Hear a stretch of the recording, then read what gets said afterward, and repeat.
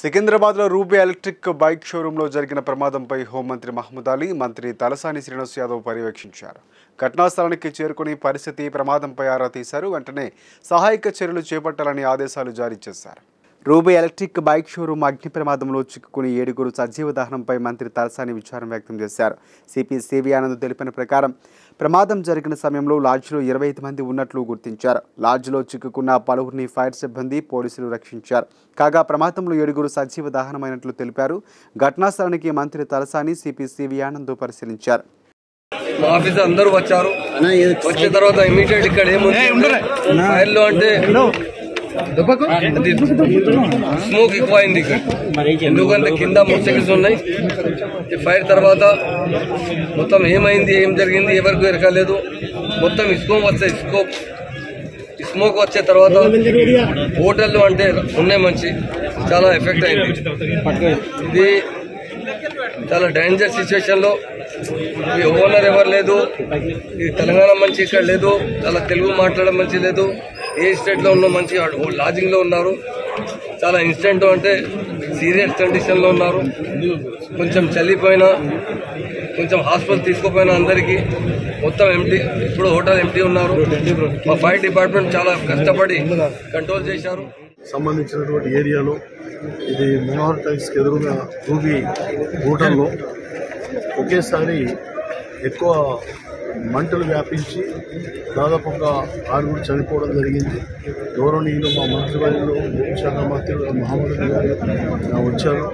మరి శ్రీనివాస యాదవ్ గారు లేదు మిగతా సోదరులు ఇక్కడ యాక్టివ్గా ఉన్న కార్పొరేటర్లు ఎక్స్ చైర్మన్ అందరూ వచ్చి అంతకుముందు కూడా చాలామంది వచ్చి ఇక్కడ వాళ్ళను రక్షించారు కొంతమంది. అక్కడ చేసారు చాలా బాధాకరమైన విషయం ఏంటంటే ఒకటి కాదు రెండు కాదు ఆరుగురు చనిపోయిండ్రు ఇంకా ఇద్దరు ముగ్గురు బాగలేదని తెలుస్తూ ఉంది. ఎంత బాధాకరమైన విషయం. ఎక్కడో ఉండి ఏదో పని చేసుకొని వస్తాం ఇంటికి అని వచ్చిన తర్వాత టక్కన స్కూటర్స్ ఇవన్నీ కూడా ఛార్జింగ్ పెట్టినట్టున్నారు. మళ్ళీ కారణం ఏంటో ఫైర్ యాక్సిడెంట్కి తెలుసుకోవాలి. ఎలక్ట్రికల్ షార్ట్ సర్క్యూట్ ఫైరింగ్ వల్ల ఛార్జింగ్ వల్ల ఏమన్నా జరిగిందా? బ్యాటరీస్ సమస్య. పైన ఫస్ట్ ఫ్లోర్లో కూడా లౌంజ్ ప్లస్ స్కూటర్స్ ఏదో షోరూమ్ ఉన్నట్టుంది.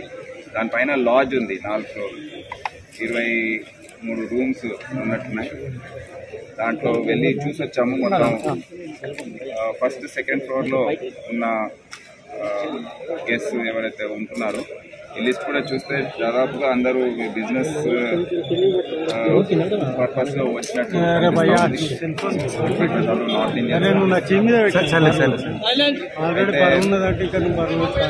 ఈ మొత్తం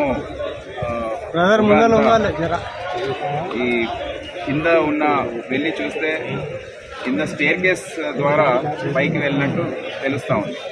ఆ స్టేర్ కేస్ కింది సెల్లర్ నుండి మొత్తం టాప్ ఫ్లోర్ వరకు కనెక్షన్ ఈ పొగ మొత్తం ఈ బిల్డింగ్ అంతా మొత్తం బిల్డింగ్ అలుపుతుంది దాంతో first floor second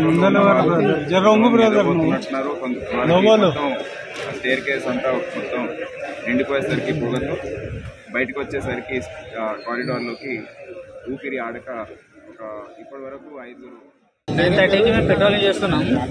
ఈ రూట్లో వస్తున్నాం. వచ్చేటప్పుడు కూడా పొగ కనిపించినాయి పొగ కనిపించిన వెంటనే మేము దిగి చూస్తున్నాం. ఆ టైంలో మాకు పిఎస్ నుంచి సెట్లో కాల్ చేస్తున్నారు మేము అదే టైంలో అక్కడే ఉన్నాం మేము చూస్తున్నాం అని చెప్పి రెస్పాండ్ అయినాం. అయ్యి చూసేసరికి పొగలు బాగా వస్తున్నాయి.